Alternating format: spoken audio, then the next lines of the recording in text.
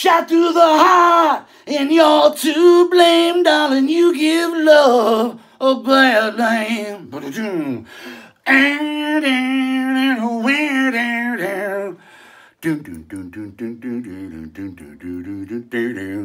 What's up, YouTubers? Check it out. I did a video on these beauties about a year ago. Time to update. I have some questions. Listen, can't really find too many of these, but I'm hoping that any hen and rooster fan out there that can identify with any of these blades can give me a little more info. Okay? Example, how old do you think some of them are? Two years? Ten years? I don't know. Let me just show you what I'm talking about. Okay? First, there's a couple I didn't bring out because they're more modern. I'm just showing you, uh, yeah, anyway, you'll see. All right. One of the first ones I want to show you is called the Hen and Rooster HR 5014. Made in Spain. It's got that German stainless. This is a fantastic knife. Now, I've had people come over to my house and check out my entire collection. Something about this one.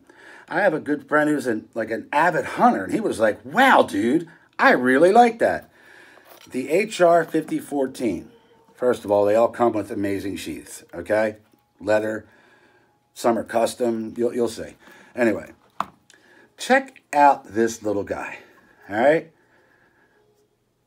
Oh, and another, another note, they're all stag handles, okay? So check out it's like a feather blade, you know? This thing is awesome for cutting like rough steak. That's what I use it for. I love this blade. All right. This isn't too old. Um, I'd say I've had it for about a year, maybe a little longer, but that's it. All right.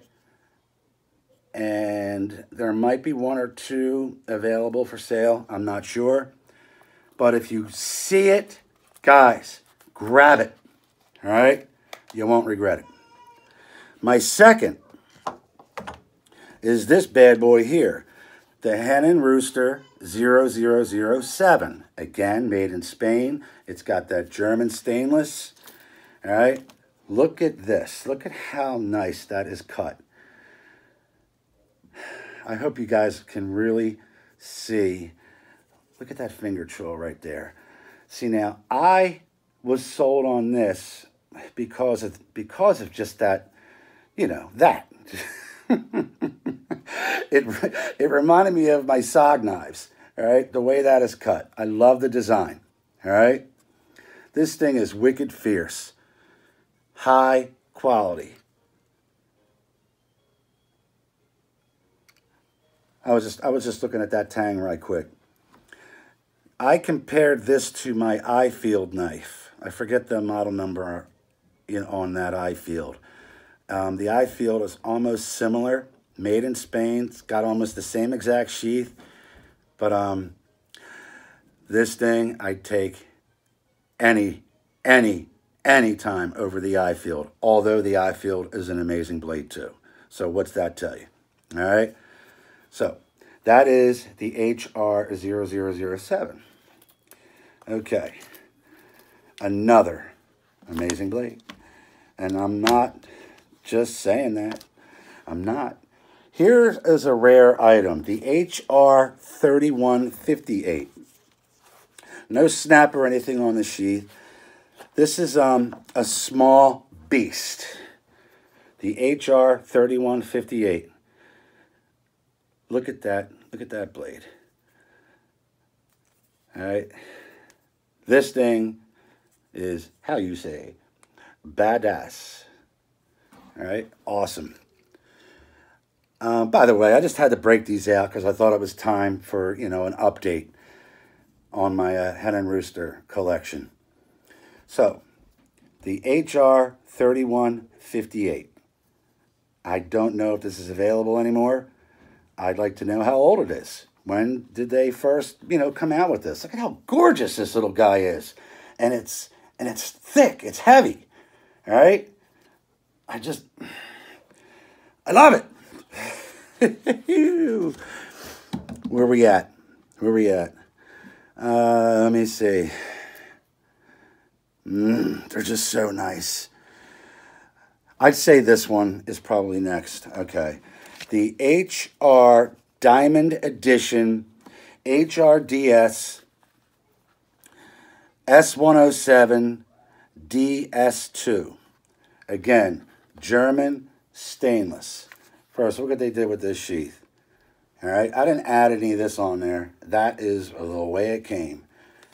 All right, it's just a nice custom sheath. Um, I'm very happy with it. It's kind of neat. So then you got this gorgeous, gorgeous stag handle Bowie knife.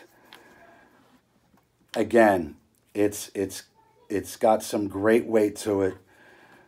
It's got your little lashing points here, you know, on the guard. It's got such high quality stag handle. I mean, this one here reminds me of like, you know, uh, I guess sort of like uh, Jim Bowie meets, you know, the Rio Grande, in my opinion. Um, because that, that clip point is just so, you know, Alamo. and then this reminds you of, like, say, the Rio Grande. Anyway, a huge fan of this blade. Gorgeous. German, stainless, made in Spain. We're talking high quality knives here, everybody. These are so close to my heart. Just beautiful. I'm so glad I have such a, you know, they're like family, these guys. And then we have this beast the HR0008. Okay? Again, you got your, you know, your leg tie. That's all leather, by the way. You got this custom sheath right here. It's got like that ray skin or something, you know, on the sheath. And uh, look at that. Just compare that to the beast I just showed you, okay? side by side. This was the, the diamond edition. Look at this. Oh. I wish I could just pass this to you. Can you feel the weight of this thing? You just don't want to let it go. You don't want to ever let it go. I love it. I love it. Look at that so hard to find a knife as beautiful as this. This is another special edition, I believe. All right. It's got some sort, you can't read that. It's got a signature on there. The HR008. I wish I knew whose signature that was. I guess I could look it up, but that's no fun. I like talking to everybody out there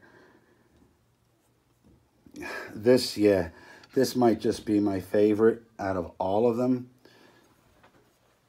The HR0008. I mean, that is, I don't want to, you know,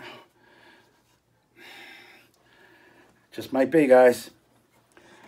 But then I got this one. The HR 5033 GDS. And here we go. Look at this bugger. This one gets some use. Anybody out there have a green stag handle Bowie knife? Again, made in Spain. It's got that German stainless. I don't want to be in the way. I'm trying to, I don't know if I should be in the foreground or what. You got the lashing points on the on the guard again. look at that green stag. I don't have, I have, oh my God, hundreds of stag handle knives, but not this type. Not hundreds, about a hundred. Just gorgeous.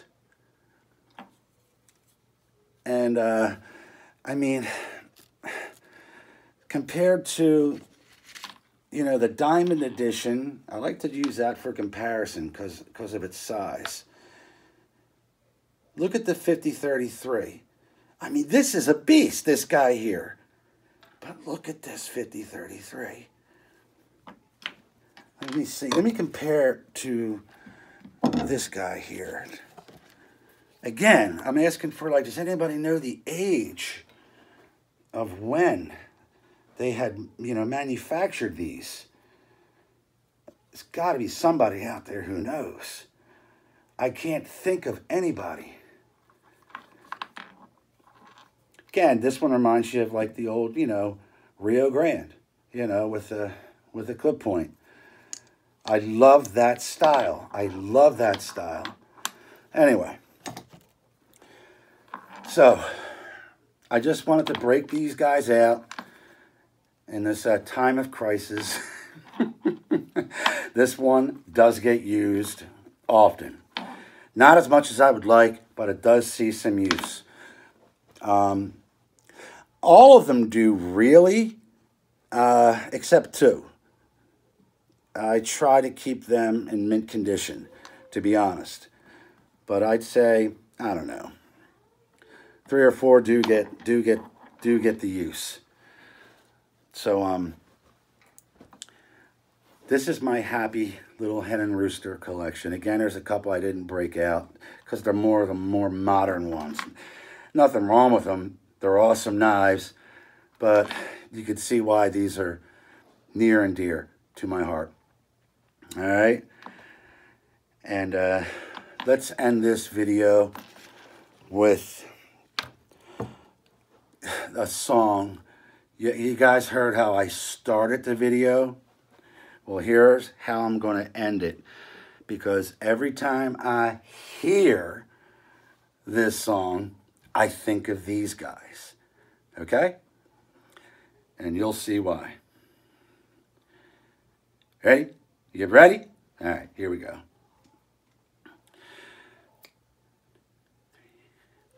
Stab through the heart and who's to blame, darling? Hen and Rooster's a great name. But boom, bang down, oh, down, down, down, do. Where is my guitar when I need it? Stay safe, everybody, and I'll see you soon.